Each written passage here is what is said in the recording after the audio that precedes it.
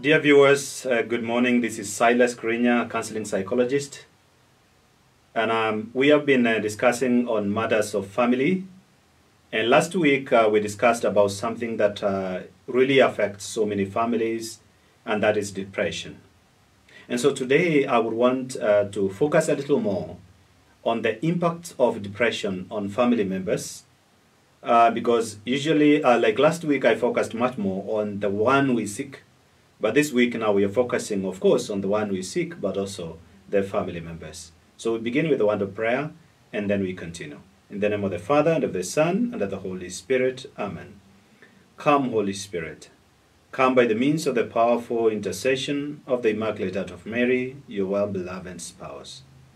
We welcome you, Holy Spirit of revelation and wisdom, that what we hear and experience through this talk will truly transform our lives and will make us also agents of transformation.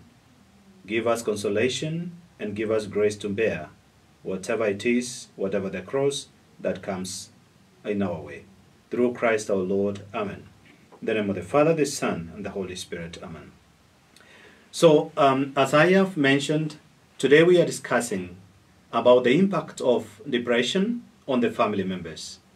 But before we get there, I really just want to begin with our scripture uh, which I think is very, very uh, timely, and that is Psalms 46 from verse 1.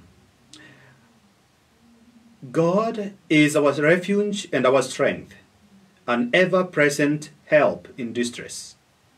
Thus we do not fear, though earth be shaken and mountains quake on the depths of the sea, though its waters range and foam, and mountains totter as its surging. The Lord of hosts is with us, our stronghold is the God of Jacob. Now, that scripture begins with um, a verse that is talking about God is our strength and our refuge, an ever present help in distress. Ever present help in distress. So, depression has a lot to do with distress.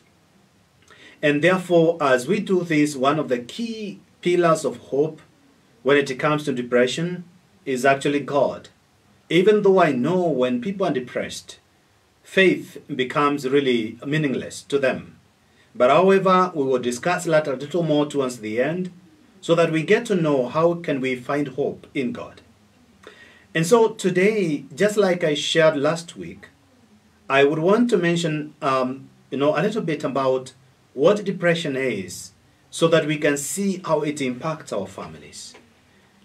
If you follow from what I shared in last um, uh, last week, you realize that someone who is depressed experiences a lot of changes in terms of their mind, the way they think, in terms of their emotions, the way they feel their moods, and also in their behavior, the way they act.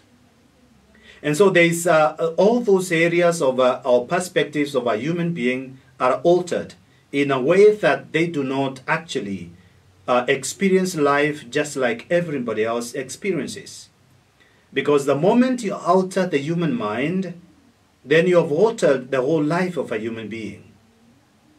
If in this case, for example, um, we injure maybe let's say the brain of a person, you may notice that there are some parts of the bodies that are likely to be immobile, or they are not going to cooperate. Maybe I've seen people who are really, really sick. They want to move their hands, but they're not able to because there's no proper coordination between the brain or the central nervous system and with other part of the, of the body. And so this is exactly what happens when we are depressed. We, are in, we become um, incapacitated in many ways. And therefore we try to laugh like everybody else is laughing, but we have no interest there's nothing that excites us. We try to go and be with other people, but you feel you have no energy at all to be there with others. This really impacts our lives. And remember from what I shared the last uh, week that this is the disease of the mind. Is is actually the disease of the brain. And so it's something that you cannot just snap out. It is a illness like other illnesses. Consider this that when you have a physical disease, when you have a physical illness, When you have a leg that is broken, people can easily tell, people can see, and they are actually able to sympathize with you or empathize with you, and they are able to understand what you're going through, and they walk with you and support you. Even they notice, for example, you're not able to walk, they can come and carry you around. If they notice that you're not able to maybe lift something, they can come and carry it for you. If they notice you cannot cook for your children, they can actually come and cook for you. And at the end of it all, you feel supported, you feel relaxed, and, and so that gives you a lot of consolation and support at that point. But when we discuss about mental illnesses, and particularly now today we are discussing about depression, you may realize that people will not know what you're going through. They will see in moons, like you in serious moons, negative moons, of course, when it is the day of your birthday. And so everybody is wondering what is happening with you. And they cannot see it, so they don't understand what is happening in your mind. And so that causes a lot of confusion even for the people who are around us. And I think that's why even the Bible tells us, let your minds be transformed.